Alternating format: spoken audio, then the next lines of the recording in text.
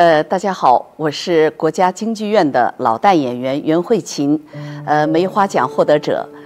第十二届、十三届、十四届全国政协委员，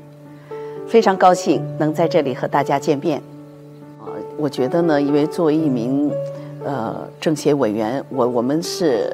很很感恩的，就是说，因为就是京剧艺术，呃，给予了我们这么高的荣誉。那么，所以呢，我觉得我们作为一名政协委员呢，我们要真正的担当起你作为一名委员的职责。所以呢，这些年呢，我就是呃一直呢都很关注我们优秀传统文化的发展问题呀，呃，还有我们每一个院团所面临的一些困难。那么，从十二届呃政协委员开始。每年的都会有提案，有关注戏曲教育的啊这方面的提案，比如说我们的武戏演员的医保啊，在尤其是在新的时代，这门古老艺术怎么能和我们这个数字文化相融合？在这方面呢，我也有很多的探索。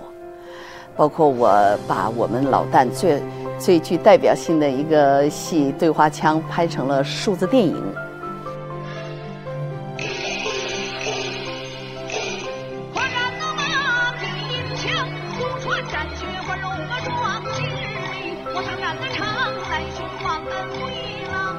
这些年吧，我感到很欣慰哈，就说，呃，大家都是在这个平台上面呢，发挥各自的才智。啊，为国家建言献策，那么呢，也得到了相关部门的回复，我就觉得这个这个工作呢，就做得很很扎实了。所以他们有有的人很不理解，就是说，哎呀，你现在你都这这你都快退休了，你干嘛呀？我说，即便我退休了，我也要干。只要是说国家需要，这门事业需要，我就一定要坚持干。